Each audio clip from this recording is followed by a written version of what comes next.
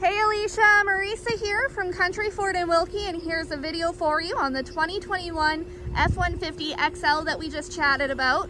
So we're gonna make our way around the truck here so you can have a good look at it and see what it's all about.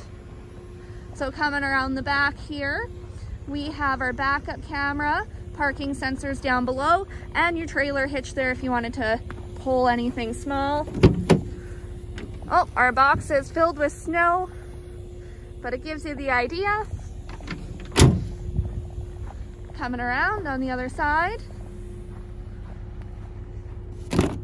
So in the back here, we've got this nice black cloth interior, very comfortable, very roomy in here as well. We do have some power hookups there and some rubber floor mats that still need to go in. On the front, so you've got your driver's seat here. Okay, and then inside we've got our touchscreen display. This is gonna give you your Bluetooth on here, backup camera, Apple CarPlay and Android Auto so you can project your Google Maps right on the screen as well. Touch the camera button up ahead. It gives you your backup camera without being in reverse. Make our way down. We have our climate controls there. Power hookups on the side.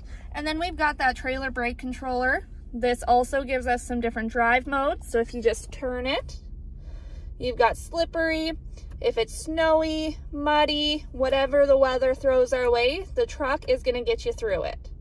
Eco is gonna give you even better fuel efficiency and Sport gives you a little extra pep when you're driving. Lots of space in the center console area. We have our Bluetooth settings here, voice activated commands, lane keeping on here as well.